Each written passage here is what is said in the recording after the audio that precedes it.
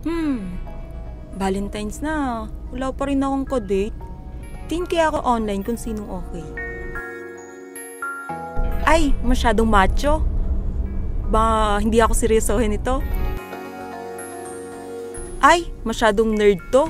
Bakit kasama niya yung macho? Baka pagtripan lang ako ng dalawang to. Ay, gwapo to ah. Pero, mukhang marami akong kaagaw dito. Mukhang sasakit lang ulo ko dito. Wag na nga. Eto, lakas makatawa. Mukhang patatawanin ako nito ah. Tsaka, mukhang hindi niya ako lolokohin. Mukhang siseryosohin naman ako nito. Hi, Lyle! Hi, Jojo. May date ka na ba this coming Valentine's? Wala pa nga eh. Ikaw ba? Wala nga eh. Gusto mo? Tayo na lang. Ha? O sige, why not? Sige, sunduin kita. Sige, see you.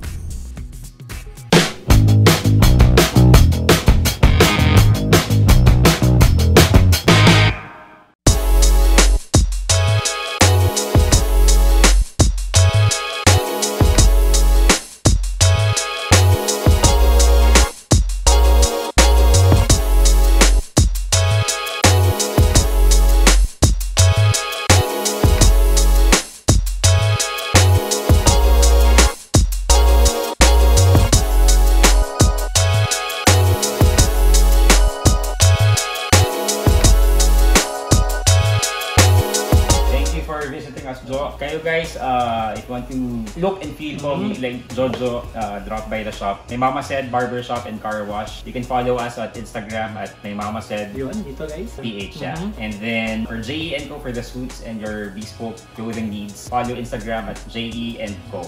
And then for the shoes, custom made, please follow at RE Craftsman for Instagram.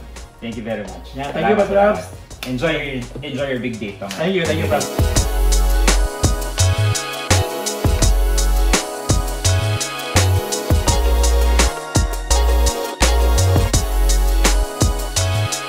Guys, this is Jojo Love Survivor, another edition of The Meets of Jojo.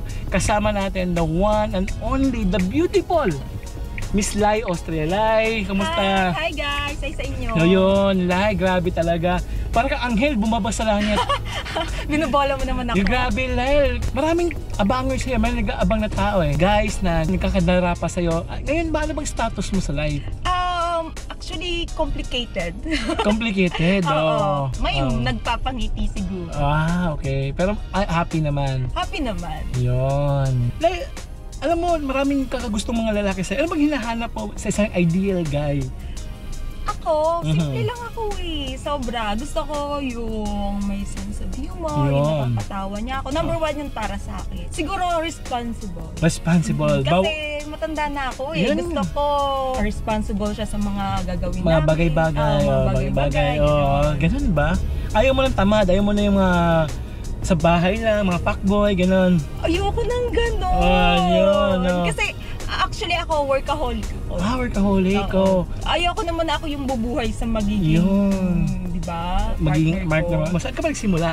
Ako, um, dati akong event organizer. Oh. Um, nung nag-aaral pa lang ako sa PUP, Polytechnic University of the Philippines, nag-OJT ako sa isang event company. Okay, na-discover ka doon. Oo, kasi um, mabang nag-organize ako, Mhm. ayun, nakuha na ng mga photographer hanggang sa may mga offers na. Ah, okay. ginrab ko na. Pero ngayon, ano bang ginagawa mo sa life aside from modeling? Ano pa ba? Modeling? Um, nagbe-business ako, nag invest ako sa mga... Anong ini-invest mo? Puso mo? Ini-invest mo ba? Ah, puso ko hindi lahat. Ah, hindi lahat. Oh. Akala ko puso mo ini-invest mo eh. kailangan yung puso kailangan may tira pa rin sa sarili. Ah, oo. Kailangan talaga. You cannot love others without loving yourself, di ba? Number to? one Yun. Yun.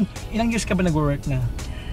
Sa modeling magpo 4 years na ata. Mhm. Um, tapos um, habang nagmo-model kasi ako, nag invest ako sa mga ibang company. Ibang companies. Oo. Oh. Oh, para kahit hindi ako mag-work, okay lang. Oo. Like, ano bang pinaka hindi mo makakalimutan, unforgettable experience mo in the in the modeling industry? Unforgettable. Na, marami. sobrang dami eh. Um, ang mga maliligaw siguro. Ah. Manliligaw? Mga indecent proposal. Ah, talaga? Mm. Oh, in- speaking of indecent proposal, anong pinaka uh, indecent proposal na natanggap mo? Ano ba mga mga dirty messages ba? May nagpapa-dipic ba sa'yo? Ano bang pinapadala nila? Ano bang... Ah, Oo, Diyos ko, ang Ah. dami. Oh. Mga nagsisend ng dick na ano. Ah, ganon. ang Yun, dami grabe, no? nakakatawa. Oo, tapos ano pa? Pinaka-worst na natanggap mong in- indecent proposal? Pinaka-worst siguro, um, marami mga offer a night, mga ganon. Talaga? Mm-mm. Ito ba mga celebrity, artista ba to, politician? Sino-sino ba to? Merong politician, uh, usually businessman. Ah, business one. Ganon talaga, no?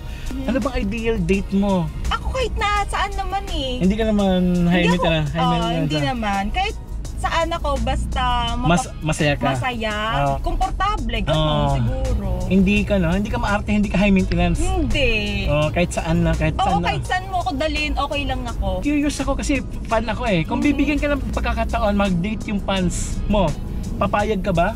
Oo naman, why not? Kasi, bakit hindi, di ba? Oo. Bakit hindi? Malay mo, yan, siya na pala yung forever ko, Siya di yun ba? the one, di ba? Oo, bakit Ah. hindi ko kino-close yung door ko sa lahat ng lalaki Ah. na gustong makipag-date. At as long as maganda yung intention nila sa akin, Ah. why not, di ba? Yan. Ano bang paborito mong pagkain? Ang paborito kong pagkain, street food ang hilig ko. Ah, okay. Isaw, Oh, kwek-kwek, kwek-kwek, fishball, fishball, mga ah. ganon. Yun sa Instagram mo. Curious lang ako ha, ilang likes ang bawat post mo? Depende eh. Sa IG, Hmm. uh, pag sexy, sobrang Mga taas. bikini, oh, bikini Oo. pics. Ano pinakamataas mong likes? Mga 40 siguro. 40,000? Oo. Wow. Yung mga bikini, ganon. Ah, pag ah. Pero pag mga walang kita yung pag Ah, face, pala- face lang, oh, pa-cute ka lang. 5,000. Oh, okay na rin yun, di ba? ganon. Oh. Pero sa Facebook, ah, marami-rami din. Oh, ikaw ba ano bang lahi mo? Parang di ka Pilipina. Um, yung lola ko, Colombian Spanish. Ah, okay. Ayan, Lyle, ngayong February 14 na ngayong araw na to, i-date kita. Excited Exa- na. Wala kang date, di ba? Wala akong date. Date tayo na lang. Oo, Oo. wala akong date. Ang isipin mo na lang, boyfriend mo ako Friday. Oh, sige. Yan. Ayun guys, samahan nyo kami.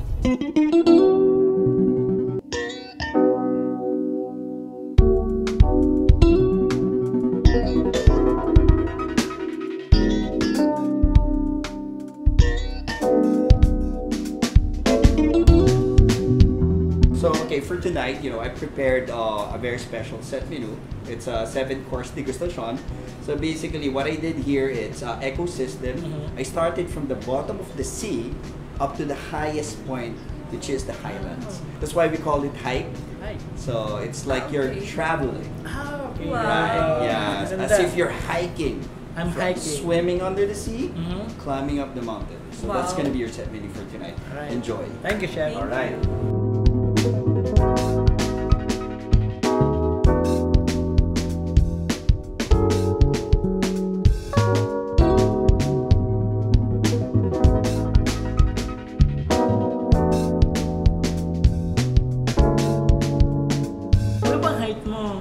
Ah, 5'4"? 5'4", ako 9'2". Ah, Nahinto sa'yo.